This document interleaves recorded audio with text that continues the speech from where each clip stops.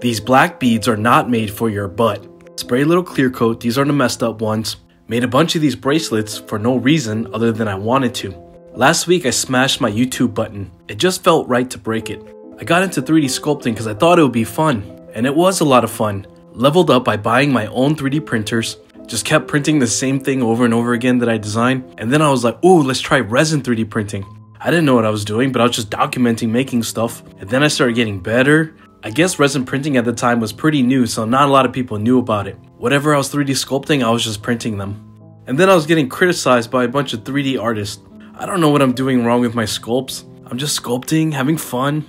My friend Ben, his boy in space, got the hookup, so I got these Bambu printers. Anycubic reached out, sent me printers.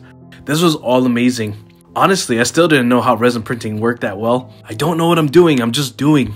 And then a bunch of 3D printing people start criticizing my stuff. I'm like, damn, I don't know what I'm doing. I'm just doing. Started printing parts for my motorcycle with tough resin. And then motorcycle people start criticizing my stuff. Besides social media, life was pretty hectic at the time. My wife was going through dangerous major surgery, but still making uploads while at the hospital. Art was just a way to escape life a little bit. So it was easy to do every day. And then I got into like farming and a little bit of solar power. And then I started getting criticized by indoor farming people my stuff didn't make it. Everything died, of course.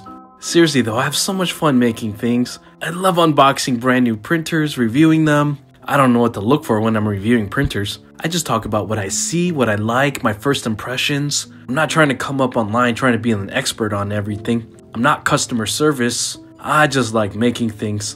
All of the support from y'all positive people have been super amazing and so wonderful. But I guess we're at a new level here.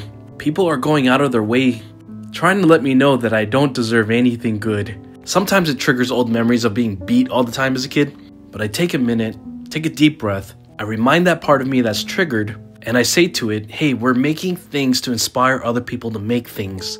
I'm so appreciative of all these companies that want to work with me, but I want to let everybody know that I'm not chasing anything. I'm not chasing that YouTube button. I'm not trying to chase the hundreds of millions of views. I'm not trying to chase fame. I'm not trying to chase wealth. I just want to make sure everything that I create reflects how I feel inside about myself. Creating art is a spiritual thing for me. The more I heal, the more better creative ideas pop out more easily. So, yeah,